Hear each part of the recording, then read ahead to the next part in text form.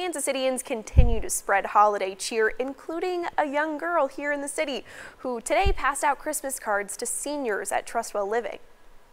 Somebody's come in and say, "How you doing? Hi, how you doing?" You know, that makes you feel better. It's part of a nonprofit that she started herself when she was just six years old. KSHB 41 News reporter Caroline Hogan turned the mic over to her and residents about what this kindness means.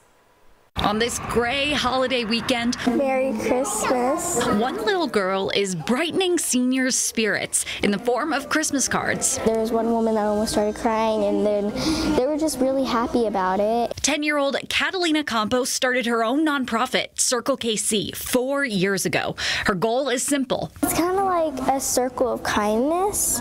So you always give back to people. We do a whole bunch, we get donations and we give them to people like nonprofits and um, just people in need. She collected over 500 cards in three months to pass out to seniors. It makes me feel like I'm doing something important and helping them out. Wishing you a very Merry Christmas and the happiest of New Years. Merry Christmas. Jesus loves you. The gesture goes a long way, especially for Sarah Brown, who loves the holidays. And children, you know, to take time out and come here and you know to, to be with older people, that, that's really something. Yeah, and it really touches my heart. So even when it might not feel like Christmas outside, Catalina hopes these men and women feel warmth and love.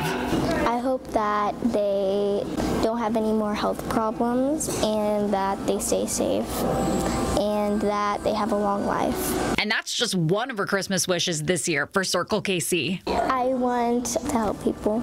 Caroline Hogan, KSHB 41 News.